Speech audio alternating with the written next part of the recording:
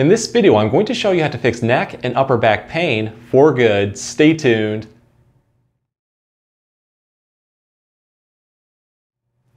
Hey everyone, Dr. Rowe coming to you from Spine Care in St. Joseph, Michigan. In this video, we're going to go over easy exercises that can give both quick and long-lasting relief for neck and upper back pain. And to make this easy, I'm going to break the video up into three separate parts. Each part works just a little bit differently. In the first part, we're going to focus on warming up the muscles, get everything loose, knock out tightness. In the second part, we're going to focus on getting long-lasting relief by strengthening the main muscles associated with pain in this area. In the third part, I'm going to go over easy stretches that you can do throughout the day for instant neck and upper back pain relief. These can give relief within 30 seconds. So my best advice, go through all three parts, use what gives you the most relief. With that being said, let's get started. So the first thing that we need to do is warm up the muscles, get some good blood flow in there, knock out some tightness. And one of the easiest and quickest ways to do this is with an exercise called the figure eight. This one may seem tricky at first, but once you get the hang of it, it's pretty easy. I like to do this one seated. Just start with very good upright posture. Have your back as straight as possible. I'm going to go through several different movements, so I want to break those down before demonstrating it. To get into position, you're going to take your hands right here, place them right on the back of your head. You kind of want to gently just press your head back a little bit into your hands until you feel a gentle activation of the muscles in the neck. What we're going to do from there is put our elbows straight in front of us, just like this. Just like the name, the figure eight, what we're going to do is trace a figure eight with our elbows. But again, we're going to go through different motions to target a lot of muscles. So as we trace the top of the eight, what you want to do is a big loop with your elbows. Really focus on moving through your shoulders, your upper back and shoulder blades. But as we trace that top part of the eight, what we're going to do is put the back into extension. So we're going to go backward like this, lifting our elbows upward towards the ceiling. So let's do that top part of the eight first. Let's do a big, wide, loop just like this. And once we get right to the top part of the eight, your elbow should be pointing up towards the ceiling. But what we want to do is stop right at the top and allow our shoulders to go back as much as possible. Focus on feeling a deep stretch in between the shoulder blades. You also want to let your head go backward like this into extension until you feel a really good stretch in the neck too. I like to hold this for a second or two and then what I'm going to do is then start to come back down towards the middle part. Again, taking that big loop right here. This time around my elbows are going to go a little bit downward towards the floor. Once we get to the middle part of the eight, what we're going to do now is the opposite. We're going to go into flexion. So we're going to bring our elbows downward towards the floor. Again, really focus on moving through your shoulders, upper back, and the shoulder blades. You want to keep going down until you get a really good deep stretch. Once you get to the bottom, lean into it just a little bit more like this. Also take your hands and gently tuck your chin towards your chest to get a little bit more of a stretch into the neck. Hold that for a second or two and then come back up towards the middle. So it's a nice fluid movement just like this of tracing that eight. I like to do this over and over again for roughly three to five times. And then once I'm done, what I'm going to do is then switch it up and go in the opposite direction. So we're making sure to target the muscles through as many different movements as possible.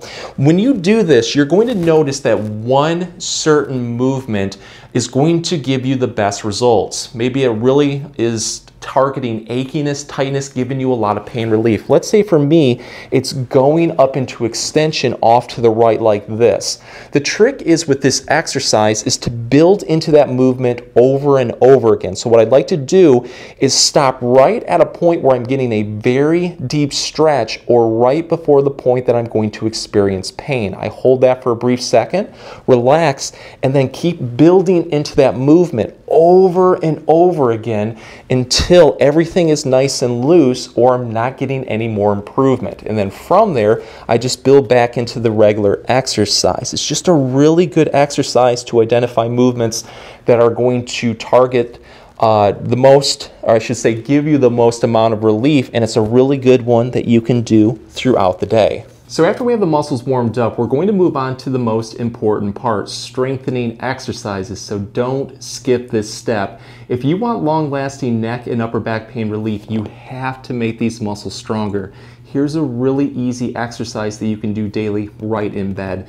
To get into position, lie on your stomach, scoot forward until your head and shoulders are off the edge. What I'm going to do first is take two fingers, put them right on my chin, Slowly tuck your chin towards your chest and then press the back of your head upward towards the ceiling until you feel a really good activation of the muscles in the neck. You're going to hold this position during this exercise. From here, we're going to straighten our arms off to our side like this with our palms facing towards the ceiling.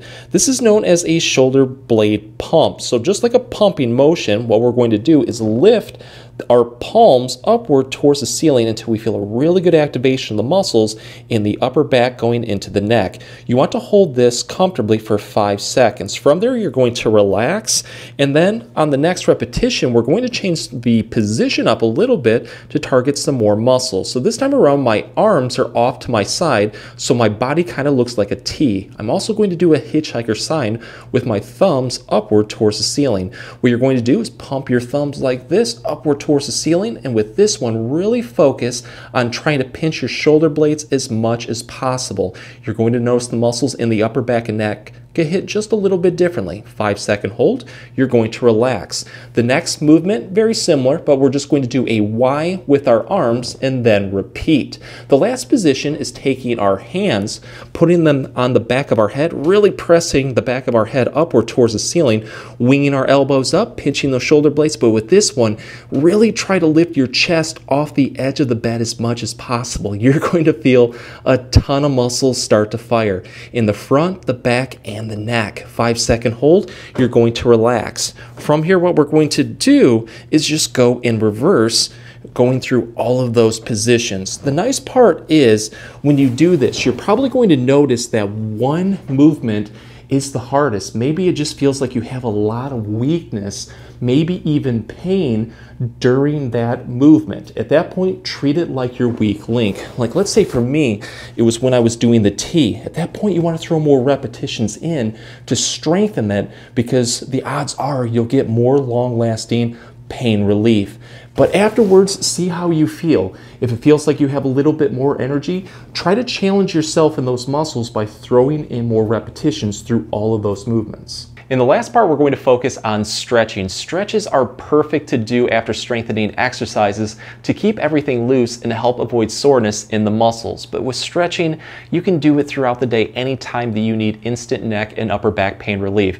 Here's a really easy combination stretch that you can do that's going to target the main muscles of neck and upper back pain. The first exercise is called the turtle. This one is one of my personal favorites because it's a really good postural exercise too. So you're going to start with very very good upright posture. Have your back as straight as possible. What you want to do first is draw your shoulders back as much as you can, kind of like pinching your shoulder blades in the back. Once you feel a very comfortable activation of the chest and the back muscles, you're going to hold this position and then stick your head forward like this. So just jut your jaw forward like this, kind of like a turtle sticking its head out of a shell. When you can't go any further, what you're going to do is look upward towards the ceiling. At this point, you should feel a really good activation of the muscles in the neck. But this is how we're going to take this one to the next level. We're going to hold this position and we're going to drive the back of our head like this backward towards our shoulders as much as possible. You should feel a really deep stretch going from your neck into the base of the neck into the upper back. It usually feels really, really good. I like to hold this one for about 15 to 20 seconds. I relax. Afterwards, see how you feel. If it feels like there's a little bit more that you could go and target, I should say muscle tightness you could target, throw a couple more repetitions in. So now let's move a little bit more into the shoulders and upper back. What I'm going to do first is target a muscle towards the front called the SCM or the sternocleidomastoid big instigator of neck pain. Also, this one makes it where you can't turn your head as easy if it gets really tight. So again, let's try to draw our shoulders back like this, pinch our shoulder blades. What I'm going to do is turn my head away from the side that I'm having the most amount of pain. Like let's say it's on my right side. So turn to look over the opposite side shoulder as much as you can. When you can't go any further, what you're going to do is then tilt your head back. So it's kind of like taking your ear and tilting it towards your upper back. As you do this, you're going to feel a deep stretch right over the front of the neck. And again, it usually feels really, really good. I like to hold this one for about 15 to 20 seconds, relax, and then I'm just going to repeat it on the other side to keep everything nice and loose. So from here, we're now going to target a muscle called the levator scapula, big instigator of upper back and neck pain. So this one's very similar. We're going to bring our shoulders back. We're going to look over our shoulder, but instead of going back with it, what we're going to do is tilt our chin forward this time. So taking our chin towards our armpit. You should start to feel a very gentle stretch from the bottom of your ear into the side of the neck towards the top of the upper back and the top of the shoulder blade. To deepen the stretch, just take your hand on the other side, grab your head like this, and slowly pull your chin towards your armpit. We call this one the armpit sniffer for good reason. This really feels good right here. I feel it into the uh, side of the neck going into my upper back. 15 to 20 second hold, you're going to relax and then repeat on the other side. The last movement, we're going to target a muscle called the upper trapezius, which is right on the top of the shoulder, goes into the upper back, into the side of the neck. This one right here causes a lot of issues. So for this one, whatever side that you're having pain, let's say it's your uh, right side, you're going to shrug that shoulder up towards your ear as much as you can. When you can't go any further, you're going to hold this position, take your hand on the other side, hook the side of your head, and now slowly pull your ear towards the other side's shoulder. When you can't go any further, you're going to hold this and then lower your shoulder downward, almost kind of like trying to pick something off, off the floor with your hand. You're going to get a deep stretch into the side of the neck, top of the shoulder, into the upper back. To take this one to the next level, slowly turn your chin upward towards the ceiling. Wow, this one's really grabbing into that area. Hold this one comfortably for 15 to 20 seconds and then relax, repeat on the other side. Go through all of those movements. If any of them are really offering you the most amount of relief, really attacking tightness, at that point, throw more repetitions in until everything is nice and loose. If the exercises help, please support the channel by giving this video a like and maybe subscribing too. If you have any comments or questions, please leave them below. I'll get back to you as soon as I can.